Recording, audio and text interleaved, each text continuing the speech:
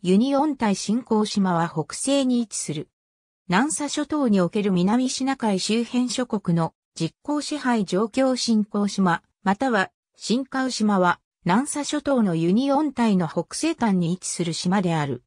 形は楕円型で、最高点は海抜3.6メートル、ユニオン堆の中で唯一の海面島。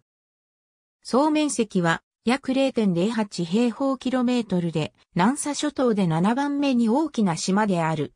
低木が茂って海鳥が生息するので、地表が鳥の糞で汚染されており、淡水が飲めない。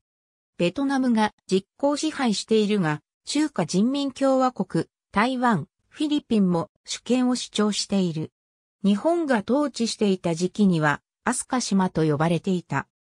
中国は2016年の常設仲裁裁判所による裁定後に、この島は中国の漁民に、はかりの針を意味する、はかり針と呼ばれており、新カオという英語名は、その音訳であることを南シナ海に歴史的権利を有する根拠の一つとして主張している。